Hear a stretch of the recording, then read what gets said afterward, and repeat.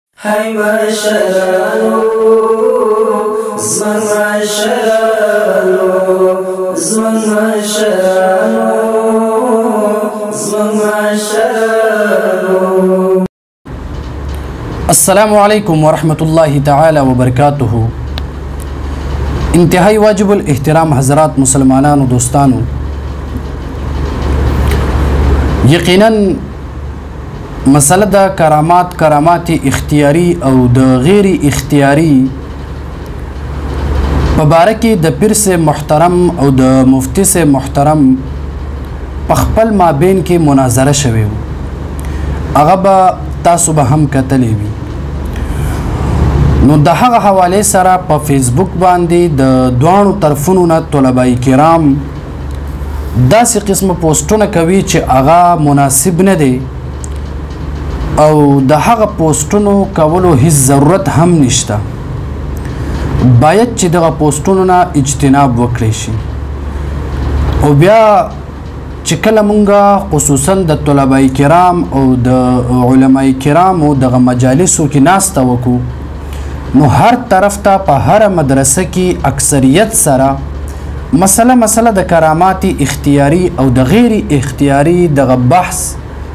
دا هر ځای کې کیږي بیا اکثر د طلبه کرامو سره کینو او دا خو زموږ د طلبه کرامو عادت دی چې اکثر بلا تحقیق خبري هر چاته کوي دا کمزوري په طلبه کرامو کې ډیر زیات دي نو ما سوچ کو چې آیا دغه خلق قسمه قسم خبرې کې به تحقیق خبرې کې او داسې خبرې چې هغه هیڅ معنا او مقصد او حقیقت نه لري بلکې په دروغ په پروپاګاندا او په منګړت خبرو باندې هغه بنیاد قائم وي نو ما دا سوچ وکړو او د ملګرو په وینا باندې ما یې زبر دې لګ وضاحت وکم چې آیا مسله د کرامات کرامات اختیاري د دې اصل حقیقت او حقیقي بیان څه دی نو محترم چې کله تاسو وګورئ مسله مسله د کرامات اختیاري دی حواله سره د مفتی ګوهر علي شاه صاحب او د مفتی ندیم المحمودي صاحب خپل مابین کې مناظره وشو دوانو طرفونو ته خه قوي او مضبوط کتابونه پیش کړل شو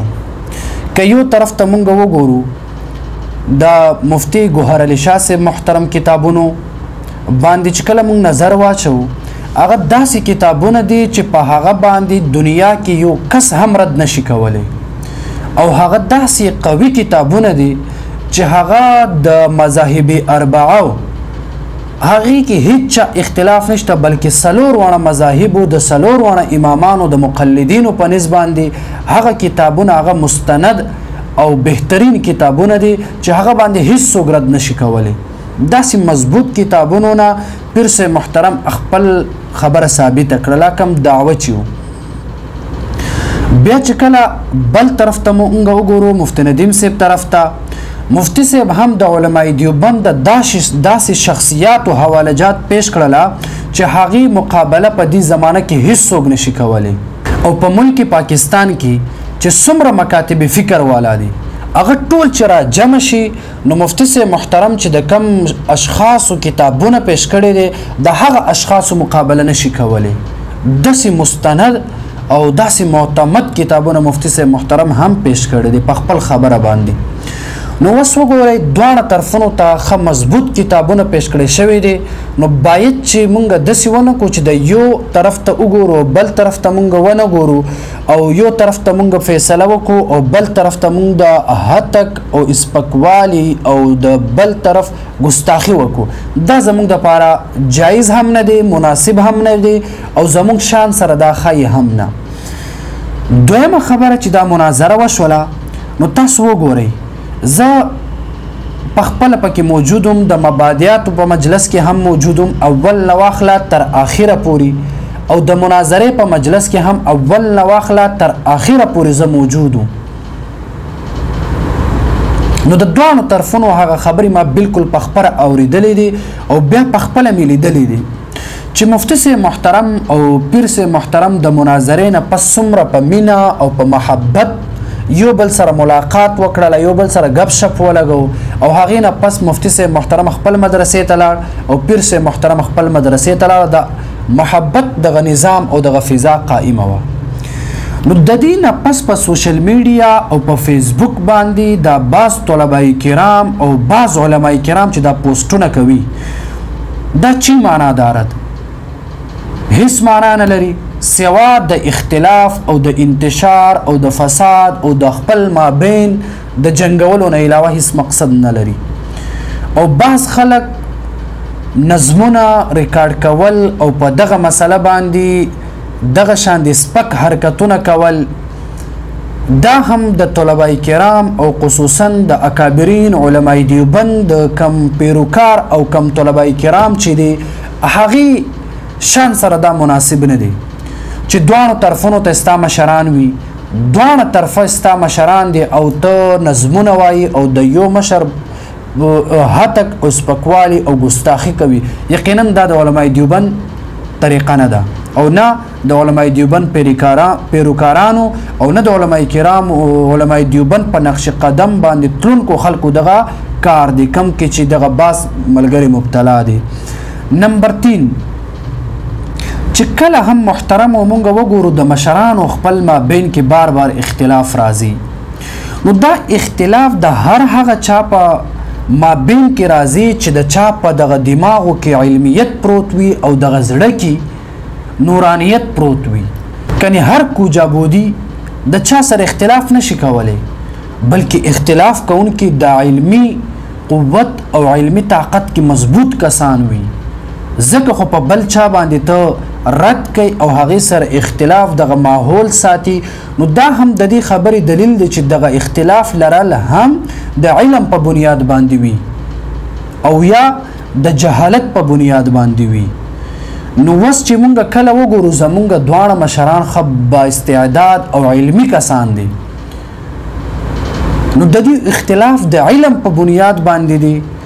نو بیا زمونږ کشرانو ته دا حق حاصل نه دی چې مونږ یو طرف ته شو او د بل مشر هتک او سپکوالی او توهین وکړو او بیا محترمو مونږ وګورو چې کله د مشرانو اختلاف راشي بهتره خبره دا ده چې دا کشران دا سکوت اختیار کی صحیح ده په مسله کې یو طرف ته شه خپل نظریه خپل عقیده یو طرف ته ساته لیکن بل طرف پس طرف ته منفي خبره او دغه شان نیگیټو پوسټونه او هغه هته کو سپکوال نه اجتناب وکړي چې دا به بهتره وي کني دغه طلبای کرام چې د خپل مشرانو په بابین کې اختلاف وي او دغه طلبای کرام پوسټونه وکي او سباله د دغه مشرانو خپل مابین کې روغ وشي نو دا کم کسان چې پوسټونه کوي په یو مشر طرف د یو مشر بی ادبی کړي وي دی سبا دغه مشر ته څنګه مخامخ کیږي چې کله دواړه مشران په خپل مابین کې روغ شي او خپل مابین کې صلح وکړي او اتفاق راشي تا چې یو مشر ته کنزل کړی وي ته به هغه مخامخ کیږي څنګه ته ورته په کم مخ باندې ورته مخامخ کیږي او خبره کوي دا ستاده پر د ټول عمر شرمندګي سهاره ګرځي ستاده یو پوسټ او یو کمنټس او یو نظم ریکارډ کول نو موږ ته پکار دی چې موږ د چا سره نمک حرامي ونه کو د خپل مشرانو سره او خپل مشرانو توهین او ګستاخی او بی ادبی ونه کو کنه دغه مشران به سباله یوشي او بیا به ما او تا زړې خولې نیولې وي او دغه مشرانو مخې ته تللو لایق هم نه یو کني تاسو وګورئ مسله مسله د مفتی نجیب الله فاروقي صاحب او د مفتی ندیم صاحب په خپل مابین کې یا خو څه غلط فهمیانی وي یا دغه شان د باس خلکو په بنیاد باندې یو بل پسې غلط خبر رسیدلی یا هر څه وجه سوا هغه نه هغه او الله تعالی خبر دی نو دې کې بعض کسان د مفتی نجیب الله فاروقي صاحب خلاف داسې قسمه پوسټونه کول چې هغه مناسب هم نه او حقیقت هم نه لرل او بعض د مفتی صاحب محترم خلاف پوسټونه کول نو ما په دغه مسله باندې هم د سکوت دغه لار اختیار کړو نو زمونږ بعضی ملګرو برانه ګیلې کول او ما ته وایي چې ته مزبزبي چې نجیب الله فاروقي صاحب سره هم پاسې کینی او مفتي صاحب سره هم پاسې کینی وایي ته مزبزبي نو اصل خبره دا ده ما ته پته و هغه وخت کې هم چې د یو ورځ نه یو ورځ دغه مشران به یو کیږي او د دغه مشرانو مابین کې چې څومره غلط فهمیان دي دا به ختم کیږي او چې څومره اختلافات دي دا به په اتفاق او چې څومره نفرت دی دا په محبت بدلیږي که زه وس د یو مفتی صاحب د لاسه بل مفتی صاحب پسې سپک الفاظ ویم او هغه ګستاخی وکړم نو سبا له بیا دغه مشرانو بروغه وشي نو بیا زه یو مشر سره هم سترګي نشم لګولې نو ما د یو هم هته کو سپکوالی ونه کړله د دوه سره زما خط تعلقات مخکې هم او وس هم دی یو زما ډیر خوخ انسان دی مطلب زما چې پسندیده اشخاصو کې مفتی نجیب الله فاروق صاحب هم دی او بل طرف ته زما استاد محترم لیکن ما چرته هم د یو باره کې هم د سې سپکه خبره نه ده کړې هغه وجه دا و چې ما ته پته و چې دغه مشران دوی به خپل مابین کې صلح کوي او بیا سواله به دغه زما خبره چې زه سپکه وکم دا زما د شرمندګي د پاره یو وجه جوړیږي نو خاموشي بهتر دی نو طلبه کرام ورونو په دې باره کې تاسو خاموشي اختیار کړئ ان شاء الله نور وضاحت به هم تاسو ته وکم چې دغه مسله د کرامات کرامات اختیاري وو نو دې کې د مفتی ندیم صاحب او د مفتی ګوهر علي شاه صاحب اصل بنیادی اختلاف په کم په کم خبره باندې او د نزاع محل سو نو چې کله ز په مبادیاتو مجلس کې کېناستم نو ما د دوه مشرانو د خبرې ځان سره لیکل او کله چې په مناظره په مجلس کې زکیناستم چې کله مفتی سه محترم ټرن راغی نو ما هغه هر هغه خبره چې هغه اختلافي او د دوه په مابین کې ما بزان سره لیکل او په ځان سره محفوظ کړل او دغه شان چې کله د پیر سه محترم ټرن راغی ما به هر خبره لیکل او هر الفاظ مې ځان سره لیکل بیا مې چې کله دواړه کېښودله او ما سوچ وکړو، هغې کې فکر وکړله او بیا نورو ملګرو ته مې وښودله، بعض اساتذه کرامو ته مې وښودله، د ټول خبرو نچوړ او خلاصه دا ده چې د کرامات، کرامات اختیاري، د دې مطلب هر ګز دا نه دی چې دا کم خلک چې دي نه مطلب را اخلي او د مفتي صیب محترم او د پیر صیب محترم دغه مسله دا سو فیصد اختلافي نه بلکې اتفاقي ده. نزاع نزاع لفظي ده او یا په بل طریقه باندې به تاسو ته بیان کړم چې دغه خبرو کې دومره ده چې بعض اشیاء او بعض امور او بعض قصد او اراده چې هغه باندې یو طرف نه د کراماتو اطلاق کیږي او بل طرف نه د کراماتو اطلاق نه کیږي شی واحد دی خو په هغه باندې د کراماتو اختیار کیږي هم یو طرف نه بل طرف نه نه کیږي دا اصل د اختلاف مبدأ ده نو وس بدل ته زتا ستا مسله مسله د کرامات اختیاري لګ وضاحت به وکم دا په دې بنیاد باندې چې د بعضو ملګرو په زړه کې او په ذهن کې دا شک دی او هغه ذهنونه مشوده تشویش شکار دی چې آیا د کرامات کرامات اختیاري نه مراد څه دی مراد د کرامات اختیاري نه دا دی چې ولی وغواړي هر څه کولی شي ولی وغواړي د دنیا په بل رړه اړولی شي ولی وغواړي دغلته هر څه پیدا کولی شي آیا دغه مطلب دی کنه د کرامات اختیاري بل څه مطلب دی نو چې کله مونږ کتابونه وکتل پیر سه محترم هغه خبرې مونږ واوریدل بیا په خپل کتابونه وکتل پیر سه نمو هغه تپوسونه وکړل زموږ په ذهن کې چې څومره اشکالات او څومره اعتراضات او څومره غلط فهمیانې وي څومره کم علمي وه چې کله پرس محترم نه مونږ هغه باره کې پوښتنه وکړله هغه هر صرف عشو او مونږ ته د کرامات کرامات اختیاري وضاحت ملاو شوله چې کله د کرامات اختیاري وضاحت ملاو شو مونږ ته دا نتیجه را اوتله چې د مفتی ندیم صاحب او د مفتی ګوهر علي شاه صاحب خبر بالکل یو ده هغه داسي چې پیر سه محترم د کرامات اختیاري معنا هرگز دا نه اخلي چې یو ولی دی اوغواړي او دی د یو شی خالق جوړ شي مثلا یو ولی اوغواړي چرته مثلا به موسم میوجات پیدا کول دا خلقا د ولی په اختیار کې دی دا چرته هم د پیر سه نظریه نه ده او هم دقه خبره مفتی ندیم صاحب هم کوي چې داسې نشي کېدلی چې داسې نه شي کېدلی چې یو ولي د یو شي خالق جوړ شي د اختیار معنا قدرت قدرت به معنا د خلق سره دا نه پیر صاحب قائل دی او نه مفتی صاحب قائل دی د دواړو خبر د دواړو خبره بالکل یو شانتی ده صحیح ده بیا د کرامات اختیاري دغه اختیار معنا دا نه ده چې ولې هر څه وغواړي کولی شي په هر وخت کې خالق په شانته نعوذ بالله من ذلک چې څنګه الله تعالی هر څه کولی شي ایا ولی هم دسی کولی شي کنه نو دا د پرسه برای نه ده چې ولی دسی کولی شي بلکې ولی بالکل نشي کولی ځکه چې وما تشاؤون الا ايشاء الله چې الله تعالی چې س او غواړي هغه د انسان په چې الله تعالی س او نه غواړي نو هیڅ څوک هم سن شي کولی بلکې چې یو انسان چې س غواړي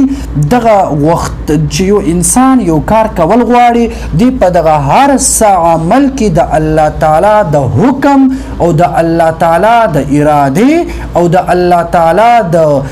حکم محتاج راغلی وي دغه بنده او بیا د کرامت اختیاري معنا دا د مولوی سه محترم لنډه په ساده الفاظو کې کرامات اختیار د پرس په نسبان دي اغا په معنا د قصد او د اراده او د طلب او د تمنا او د تشهي او د دعا داسې قسم امور او داسې قسم اشیاء دا کرامت کرامات اختیاري دي مولوی صاحب وس د دې معنا څه ده معنا دا ده مولوی صاحب چې دا کرامات کرامات دا په دوه قسمه باندې وي یو اختیاري وي او یو غیر اختیاري وي وس دا غیر اختیاره معنا سوي چې کله کله داسې وشي چې د یو ولی نه د یو کرامت صدور وشي نو دی ولی ته پته نه لګی چی مانه دغه کرامت ظاهر شوی دی صادر شوی دی ظاهر شوی دی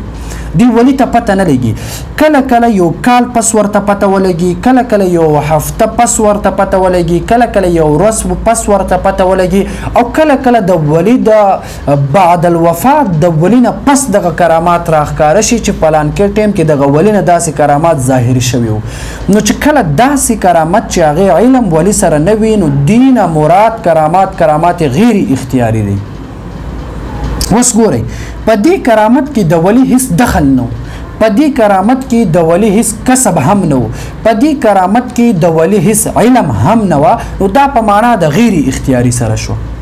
وس د اختیاري سمانا ده د اختیاري معنا دا ده چې کله کله الله تعالی دغه ولي په زړه کې الهام وکي، کشف وکي، القا وکي، دغه ولي ته الله تعالی علم ورکي چې ولي د الله تعالی تا ته یو ملکه ورکړله یا تا ته یو نعمت ورکړله یا الله تعالی ستا په لاس باندې د یو امر خا امر خارق للعادت ظهور کول غواړي نو وس ګورئ چې کله دغه ولي ته دغه علم حاصل شو نو دا کرامت کرامت اختیاري شوله ددې مقصد به څه وي لکه مقصد به ددې دا شي چې کله کله یو ځای کې مثلا مثلا یو ولي دی یو بزرګ دی هغه دی زینزی مثال په تور بیت الله شریف ته خانه کعبه سفر باندې زی او پیادل دی اسباب ورسره نشتا سفر د پاره گاډي ورسره نشته جهاز ورسره نشته کشته ورسره نشته لیکن دغه ولی وس دی زینا دی تل غواړي هغه بیت الله شریف سفر د پاره وس ګوره دی اراده وکړه دی چې کله اراده وکړه الله تعالی دې ته قوت ورکړه امر خارق للعادت دې ته متوجه شو الله په حکم سره د غولی ته کرامات کرامات ته الزمان دی ولی ته دی ولی ته کرامات الله تعالی ورکړل چې دی د کلونو سفر د میاشتونو سفر دی د هفتو سفر په یو چن منټ کې هغه سفر دی تیکي او هغه سفر خپل مقصد منزل مقصود ته دی رسی نو ګوره دی دلته اراده وکړه چې څنګه دی اراده وکړه الله تعالی دی ته دغه قوت ورکړه چې دی د یو میاش سفر په یو هفته د یو هفته سفر هغه یو پنځه منټ کې دی هغه سفر طی کی نو دی دلته اراده وکړله الله تعالی ورته قوت ورکړله نو دین مراد مراد کرامات کرامات اختیاري شوله د دې معنا دا ده کم معنا چې خلک وایي چې دې ځای کې دغه ولی اختی اراده وکړله او بیا اراده یې ونه کړل بلکې په خپل دغه قدرت باندې سفر وکړله خو دا معنی هر چرته هر ګز نه ده بلکه دغه ولي دي اراده وکي او د ارادې نه پس الله تعالی دي ته دومره قوت ورکي چې دي دغه میاشتو سفر دي په یو رس یو سو منټو کې وکي نو دینه مراد کرامات کرامات اختیاري دي صحیح ده یا بل شان دي بل شان دي مثال داسې د محترم او چې د کرامات کرامات اختیاري معنی او مقصد دا دي چې دغه ولی دی د الله تعالی عبادت ډیر زیات وکي د الله تعالی د عبادت کولو نه پس دغه ولی دی ته الله تعالی یو نعمت ورکي دی ته یو اعزاز ورکي په دی باندې کرم وکي په دی باندې الله تعالی مهربان شي نو دی ته یو نعمت ورکي نعمت مطلب څه دی مولوی صاحب محترم هغه دا دی ګورئ وس مثال په تور ستاسو بعضی ملګرو د پوها کولو د پاره وس مثال په تور اسی مثال په تور مولوی صاحب ګوره چې کله زما په موبایل کې بیلانس نه وي نو زه چاته ټلیفون نشم کولی کال نشم ملاولی خو چې کله زه ایزلور وکم نو دغه بیلانس چې تر سو پورې زما موبایل کې وي زه هر ټیم غواړم که د شپې وغواړم که د ورځې وغواړم که د سحر وغواړم نو زه هر چاته ټلیفون کولی شم دا ټلیفون ولی کولی شم چې زما په موبایل کې دغه بیلنس موجود وي که چرته دا بیلنس موجود نه وي زه ټلیفون نشم کولی هم دا رنګ دغه شان دی الله تعالی خپل بنده باندې مهربان شي دغه بنده ته یو نعمت ورکی دی ته یو ملکه ورکی دی ته یو قوت ورکی او دی ته یو قدرت ورکی قدرت په معنا د خالقیت سره نه دی مولوی محترم قدرت په معنا د طاقت سره د اراده کولو سره کار کېدلو سره په معنا د طاقت سره دا به بهتره وي اوس دغلته دا ولی دی دې ته مثلا یو ولی اغي تزکیه د نفس وشو الله عبادت وکړه الله ور ناراضي شو او الله تعالی ورته یو اعزاز ورک اعزاز ورله دا ورکو چې مثلا مثال په تور باندې دغه ولی بیا عقد سفر والا مثال به تاسو ته وایم چې دی ولی ته الله تعالی دومره قوت دومره طاقت او داسې یو عزت ورکو چې دغه ولی چې گاڑی کې یو ځای ته په لس ګنټې کې ترسي نو دغه ولی ته الله دومره قوت ورکي چې دی پیادل د هغه لس ګنټو سفر دی په یو دو منټو کې وکي نو دی دی ته الله اوس دا اعزاز ورکو دا ملکه ورکړله دا قدرت الله تعالی دی له ورکړله دا نعمت الله دی له ورکړله وس ګورئ مولي صیب د اختیاري معنا څه ده چې څنګه تا دغه موبایل باندې د ضرورت په وخت کې کال کول او بل چا سره د خبرې کول نو هم دا رنګي دغه الله تعالی چې دې د ملکه او د قوت او د طاقت ورکړي دي نو دی هم څنګه چې تا خپل موبایل باندې کال د ضرورت په بنیاد باندې کوي هم دا رنګي دی هم دغه خپل قدرت خپل ملکه او خپل دغه طاقت دا هم د ضرورت په وخت باندې استعمالول شي اوس څنګه اوس یو ولی ته الله تعالی قوت ورکو چې دی لس غنټو سفر په 2 منټو کې کولای شي نو د سی خو نه ده چې دا ولی هر ټیم کې نه بلکې دا ولی خو خپل ځای باندې مثلا ناس یو کله د یو موقع رااله الله خو دې ملکه ورکړي ده کنه وس دی چې کله مثلا الله تعالی د غولی ته نن دا قوت دا ملکه دا طاقت ورکړله وس دغه ولي نن چرته نه ځي بلکې دی سبا ځي سبا دی یو لس ګنټې سفر کول غواړي خو په یو دوه منټو کې او الله تعالی ورته پرون دغه ملکه ورکړې وه او دغه ملکه دی سره ده دغه قوت دی سره دی دغه طاقت دی سره دی وس که یو رس پس هم دغه ولي د لس ګنټې سفر په دوه منټو کې کول غواړي نو دی اراده وکړي نو هغه سفر تیش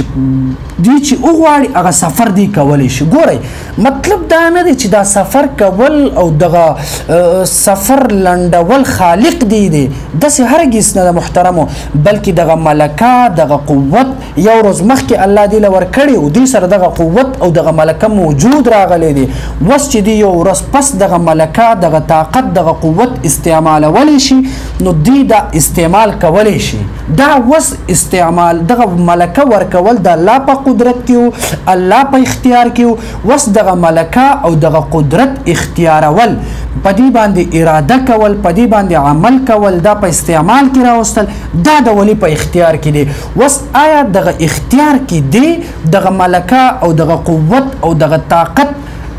باندې عمل کول دا استعمالول آیا دې ته کرامت ویل شي او کنه شي ویل نو دې ته کرامت ویل شي ولې ویل شي مونږ وایو کرامات کرامات څه ته ویل شو امر خارق خارق امر خارق للعادت صحیح ده اوس محترم چې دغه ولی ته یو ورځ مخکې قوت ملاو شي یو ورځ پس سفر د لس غنټه سفر په یو دو منټو کې وکي ګوره د امر خارق للعادت شو صحیح ده کنه خو دی دا څنګه وکړله څنګه چې دی ته ضرورت راغې څنګه چې دی اراده وکړله څنګه چې دی او وختله نو دی دغه سفر وکړې شو صحیح ده خدا ملکه ورته یو ورځ مخکې الله تعالی ورکړې وو نو دغه چې مخکې ورکړې او دی وس هغه ملکه اختیار کړله دی وس هغه ملکه باندې هغه طاقت استعمال کړله نو دی ته کرامات کرامات کرامات اختیاري ویل شي مولوی محترم صحیح ده دا او د کرامات اختیاري تفصیل نو دقه شانتې مفت ندیم صاحب هم وایي چې د یو شی خالق بنده نشي جوړو نشي جوړیدل که هغه امر خارق للعادت وي او کنه وي هم دقه رائے د پیر صاحب محترم هم دا چې د یو شی خارق للعادت شي امور وي او که غیر وي هغه خالق خو الله تعالی دی بنده هرگز نشي جوړیدل خو الله تعالی دغه ملکه او دغه قوت او دغه طاقت امر خارق العادت دا بنده لور کې او بنده بیا دا استعمالول شي د دې خو آسان مثال فهم ته زمونږ هم راځي چې محترمه یاد وساته الله موږ له ژوندۍ را کړې ده او موږ ته دوه لارونه خودلې ده یو د هدایت او د یو د گمراهي و زمونږ خوخه ده که د هدایت په لار زو او که د گمراهي په لار باندې زو نو داسې نه ده چې موږ محض مجبور یو چې الله تعالی موږ جبرن موږ باندې یو لار اختیارول غواړي داسې هرگز نه ده بلکې څنګه چې زما او ستا زندګي ده دقه شانتي ما او ته اختیار دی که ګناه کوو او که نیکی کوو هم دارنګ الله تعالی ولی ته دغه قوت او دغه ملکه او دغه طاقت ورکړي دی وس دغه ولی په دې باندې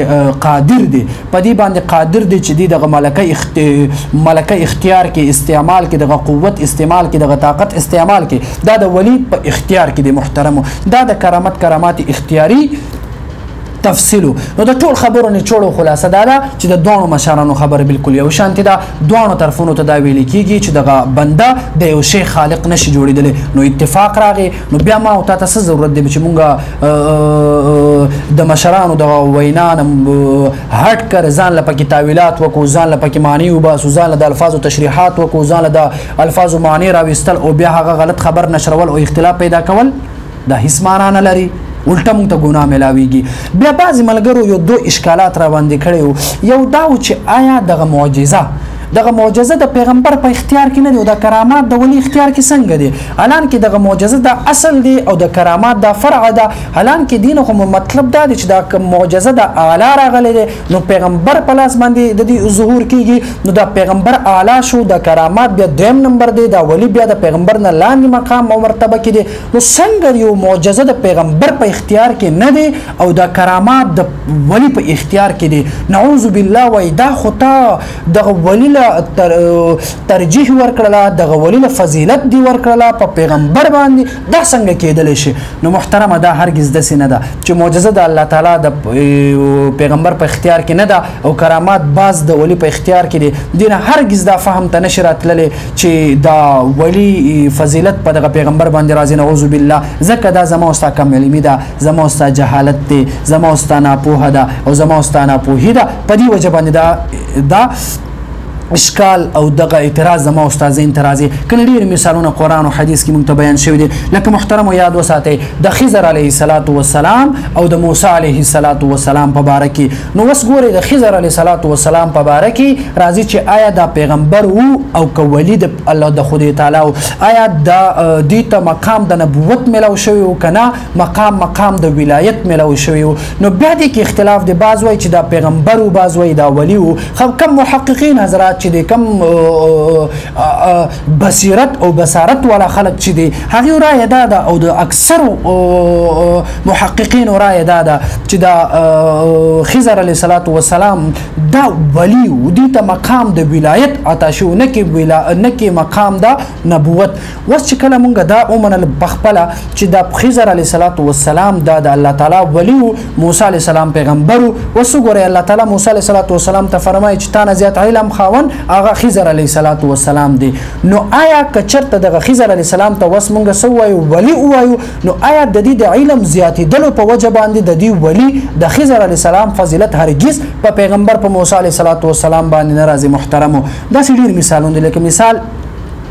افضل البشر بعد زنبیا د انبیاو د طبقې نه پس د ټولو نه بهترین انسان هغه حضرت ابوبکر صدیق رضی الله تعالی عنه دی وس ابو بکر صدیق رضی الله تعالی عنہ د ټول انسانانو نه افضل دی سوا د انبیای کرامو نه حتی چې د فرشتو نه هم افضل دی وس ګوره محترم وس دغلطه ابو بکر سیب دی بل طرف ته علی سیب مونږ را واخلو علی سیب نه ابو بکر سیب یو سل چنده افضل او اعلی او اکمل دی نو وس چې کله مونږ وګورو محترمو علي صیب په علمیت کی او په مسائلو کی د ابوبکر صیب باندې فضیلت لري حالان کې مجموعي تور باندې کلی کلی تور باندې ابوبکر صیب اعلی دی لیکن د علم په بنیاد باندې او په مسائلو کی ابو ابوبکر صیب نه علي صیب اعلی دی د دې مطلب هرگز دا نه دی چې دغه علي صیب د ابوبکر صیب نه اعلی شو نه بلکې دا ابوبکر صاحب اوس هم د علي صاحب نه اعلی دی اګر چې علي صاحب په علمیت کې د ابوبکر صاحب نه اعلی راغلی دی یا دغه شان دی پیغمبر علیه الصلاۃ والسلام فرمای محترم لو کان پیغمبر علیه الصلاۃ والسلام فرمای لو کان بعد لو کان بعد نبی لکان عمر چې کچرته زمانہ پس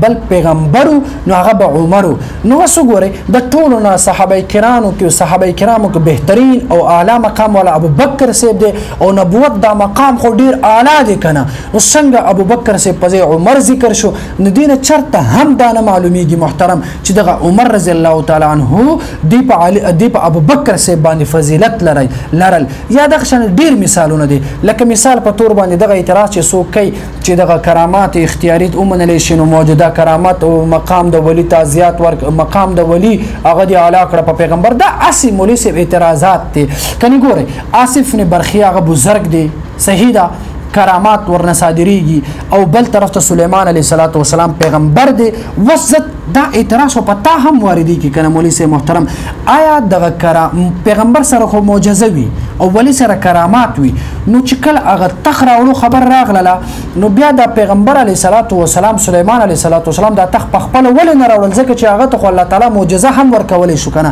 ولی دغه ولی دغه تخ راوړو عاصم ابن برخیه نو دینه دا نه معلومیږي چې هغه تخ راوړو نعوذ بالله د دې فضیلت راغې په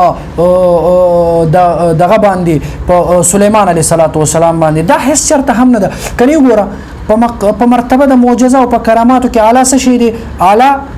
معجزه ده کرامت نه دي نو په کار خدا و چې دغه تخت د معجزې په زیره باندې راوړی شوی نه کې په مس... د کراماتو په وجه باندې نو دا اعتراضات کول دا اسی به معنا فضول دي نو چې کله موږ تحقیق وکړو په خپل کتابونو وګورو نو زموږ موږ په دغه مسایلو باندې ډیر زیات پوه شو او زموږ عقلونه به کار وکړي بل زما ذات خود او زما د اساتذه کرامو دغه رایه ده چې کم کسان چې په تصوف کې مبتلا نه وي او تصوف سره تعلق نه وي دغه باس خلک دیو په دغه کراماتو په مسله باندې بالکل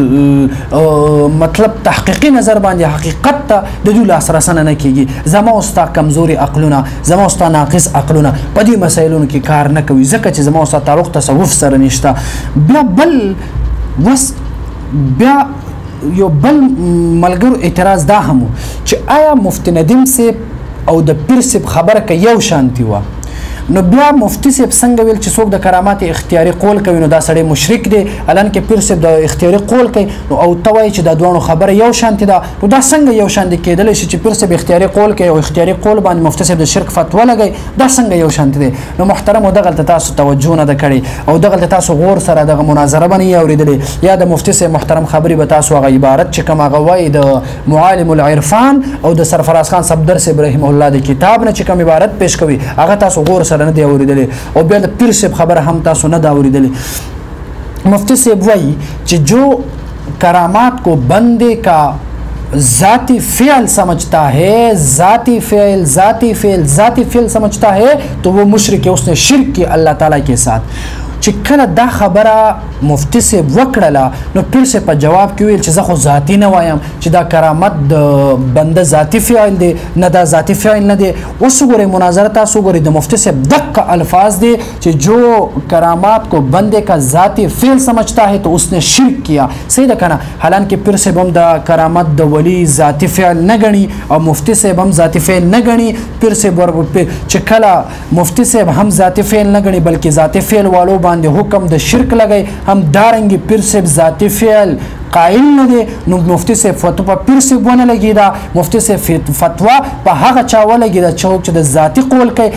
او پیر صاحب د ذاتی قول نه کوي نو د مفتی صاحب فتوا د په پیر صاحب ونه لګی دا چې د پیر صاحب د ذاتی قول نه کوي او مفتی صاحب د ذاتی نفي کوي نو چې پیر صاحب د ذاتی قول نه کوي نو د مفتی صاحب او د پیر صاحب دوه خبره یو شانتي شوله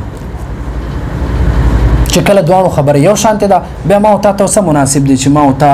داسې د مشرانو په دغه خبرو کې دخل اندازي کوو او دغه شان د اختلاف ته هوا ورکوو او چرته چې لږ اور بلیږي ما او تا ته په کار دا نه دی محترمه چې ما او تا راشو پیټرول غټ یو بوتل راواخلو هغه اور کې داسې واړو هغه اور نور نور هم لمبې شروع کی ما او تا ته دا په کار نه دی بلکې ما او تا ته دا په کار دی مولوی صاحب محترمه چې کله د مشرانو یا د کشرانو یا د مسلمانانو په خپل مابین کې اختلاف راشي اور ولګي ما او تا کوشش وکړو چې اوبه را واخلو هغه اور په مړ کو ما او تا ته په کار دا دی چې دغه اختلافات د ختمولو کوشش وکړو نه کې د اختلافات د جوړولې الله ګواه دی والله بالله ثم تلا ما دواړه مفتی صاحب محترم ته هم ویلو چې ما د مبادیات مجلس کې دغه مسله اتفاقی کوي لیکن مشران په خپل کارونو خپويږي کني مفتی اکبر علي صاحب ګواه دی مفتی غلام فرید صاحب ګواه دی مفتی صدیقی مولوی صاحب ګواه دی دومره کوششونه مو کړیو چې د دواړو مشرانو، د دواړو اساتذه کرامو دغه مسله دا په خپل مابین کې د مبادیاتو په مجلس کې حل شي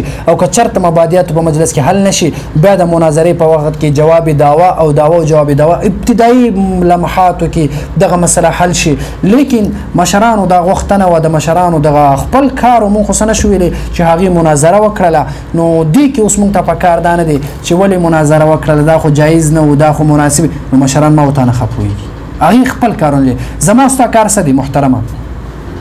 د دواړو مشرانو خبره یو شانتی ده زوس که یو انسان وای چې زه د مفت ندیم سه په خبره باندې عمل کوم بالکل وکه په حق باندې که یو انسان وای چې زه د پیر سه په نظریه باندې عمل کوم نو بالکل په حق باندې محترمه د دوه خبره یو شان ده نزاع نزاع لفظي ده ما تاسو ته وضاحت وکړله ان شاء الله امید لرم چې تاسو به پوه شوي کني زما دغه کمې خبرې چې ما وکړلې دا ټول هغه خبرې دي کم چې ما د دوانو مفتیان کرامو د دوانو مفتیان کرام د خبرو نه مې لیکنه کړې و او بیا مې په هغه باندې په خپل کتابونه وکتل که چرته زما اشکالو هغه مې مفتی صاحب ته وکړله پیر صاحب ته مې وکړله نو مفتی صاحب او پیر صاحب زما اشکالات ختم کړو نو نتیجه دا راووتله چې د دوانو مشرانو په خپل مابین کې اختلاف نزاع نزاع لفظي د محترمو او که چرته دا اختلاف بالفرض نزاعي لفظي نه وي بلکه حقیقت کې غټ یو اختلاف هم وي ما او تا ته په کار دا نه دی محترمو چې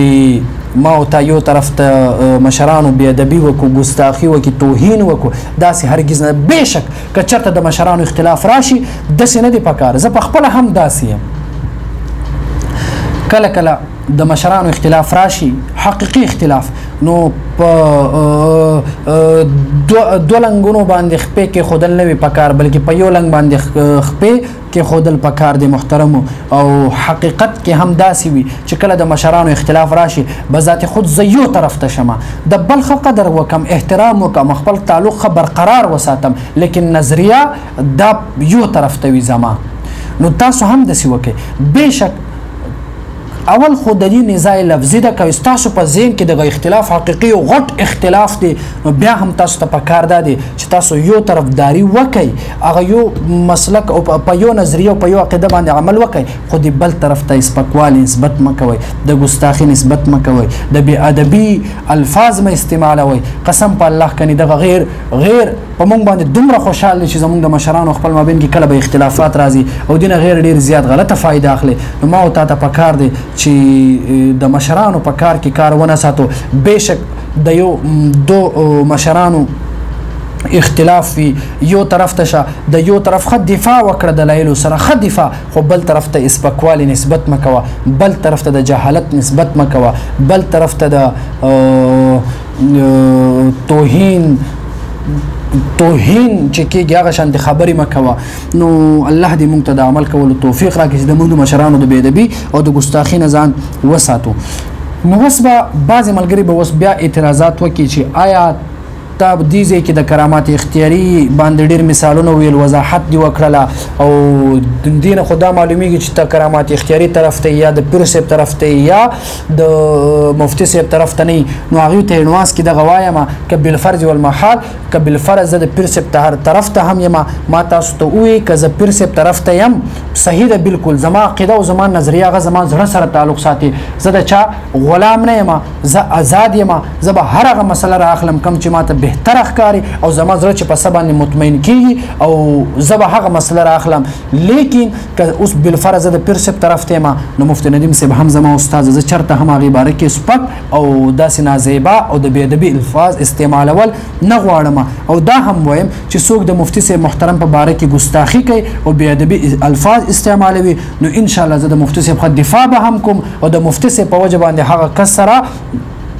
د دلایلو په بنیاد خبره به هم کومه که څوک د پیر سه محترم خلاف پوسټونه کوي د پیر سه محترم خلاف بد رد وای نو ان شاء الله د پیر سه به هم دفاع کوم د مفتی سه به هم دفاع کوم خو زما نظریه هغه به یو طرف ته وي زما نظریه هغه به یو طرف ته وي خو دفاع د دوانو به کوم دوانه زما اساتذه کرام دي او د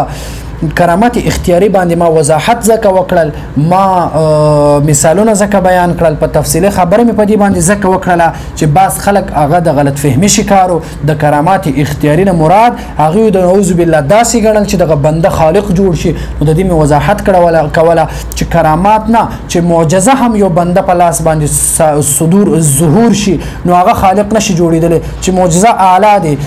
او پیغمبر اعلی دی خالق نشي جوړیدل او دا ولی خو بدرجه اوله خدای نشي جوړیدل او دی خالق نشي جوړیدل نو د کرامات اختیاري په باره کې د بازو ملګرو غلط فهمیانې وي اشکالات او اعتراضات نو په دې بنیاد باندې چې د دیو د ذهن اشکالات ختم شي ځکه چې ډیر ملګرو را سره بیته هم وکړلې او ډیر ملګرو نه پښتنې هم وکړلې او اکثر پرون مجلس مې د طلبه کرام او علما کرام سره نو هغه کې هم دغه خبرې چې هغه د کرامات اختیاري نه مراد هغه څه اغستل چې هغه زمونږ مقصود نه دی د پیر صاحب مقصود نه دی کم خلکو کتابونو کې متقدمین او متکلمینو چې لیکل دی هغه مقصود نه دی او د مفتی صاحب محترم د فتوی چې هغه د شرک فتوا لګولې ده هغه مقصد دا هرگز نه دی چې هغه بعضی خلک مراد راخلي بلکې مفتی صاحب چې په کم خبره باندې د شرک فتوا لګی اقا فتوا پیر صاحب محترم هم لګی او هغه زمونږ هم نظریه ده بالکل ندیم صاحب خپل فتوا لګولې ده چې څوک دغه کرامت د ولی ذاتی فعل غني دا مشرک دی دی شرک وکړه دا نه پیر سب منی او نه مونږ منو نو خبره د دواړو یو شانتی ده نو محترم ما او تاسو په کار دی چې د اصلاح کوشش وکړو د اختلافاتو د ځان اوساتو او د مشرانو توهین ونکو کدا شخ په چا باندې دغه خبري بدلې لګیدلې وي یا د یو خبره چې هغه کې انسان د غلطي کې کسه غلطي شوی وي نو دا به زما خپل قصور وي زما خپل کمزوري به وي او کم علمي به وي او زما خپل کمزوري ده او کچرته کمی خبري د صحیح وي او تاسو په مطمئن یې او دا د الله رب العزت احسان به وي او دا د زمونږ د مشرانو او د خصوصا د مفتی صاحب او د پیر صاحب محترم برکات به وي نو ان شاء الله تعالی محترم امید لرم چې زما د خبرو سره زما ډیر ملګری به اتفاق وکي او کم خلک چې اختلاف فهم لري بهشک اختلاف ولري ليکن د بد اخلاقي، د کنځل او د بد رد نه اجتناب وکړئ، ځکه چې تاسو طالبان يې، په سر مو دستار تړلی وي، نو د بد اخلاقي نه ځان وساتئ، چې د طلباء کرامو جامه سره نه ښايي، بد اخلاقي، کنځل او رد بد ويل، نو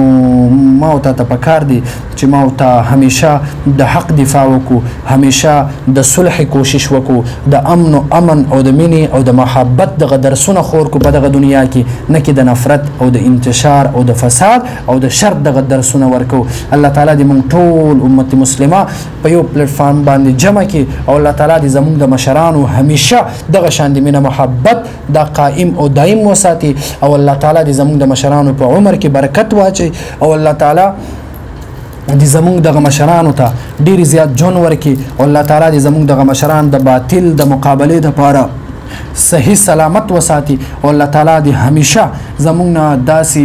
مونږ ته داسې توفیق رانه کړي چې د مشرانو د توهین وکړو که بالفرض انسان کمزور دی که مخکې یا په اوس خبرو کې یا که چرته دوه درې کالو مخکې د مشرانو توهین شوی مونږ نه نو که چرته سوشل میډیا باندې شوی وي نو د هغه مشرانو په سوشل میډیا باندې مونږ معذرت خوایو او که کم ملګرو بی ادبی ګستاخی هم د که مخکې یو کال مخکې دوه کاله مخکې یا اوس څو ورځې مخکې رانه شوی وي نو هغه ته هم درخواست کوم عاجزانه چې معذرت خواه یم انسان کمزور دی الله تعالی دې مونږ ټولو ته د اخوت دغه ماحول کې ژوند تیرولو توفیق راکړي او الله تعالی مونږ ټولو ته اخلاص او د دین خدمت کولو توفیق راکې وصلی الله تعالی علی خیر خلقه محمد وعلى آله واصحابه اجمعین برحمتک یا ارحم الراحمین السلام علیکم ورحمت الله تعالی وبرکاته